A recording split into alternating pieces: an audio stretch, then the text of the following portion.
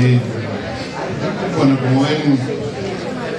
un día de campaña, muchísimos compañeros moviéndose en la ciudad de Buenos Aires y respondiendo de esa manera a la agenda del odio,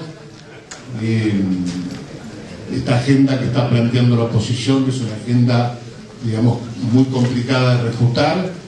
pero que lo estamos haciendo con entusiasmo. Ayer en,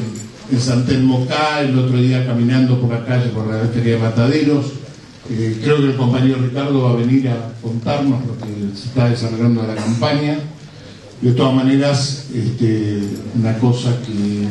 tenemos presente es que todos aquellos que tengan iniciativas de reuniones y esto hagan llegar, nos hagan llegar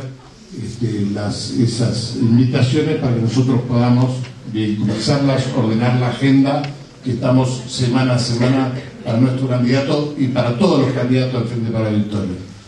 Eh, vamos a comenzar, compañeros, con, con, la presencia del compañero Laborde, embajador,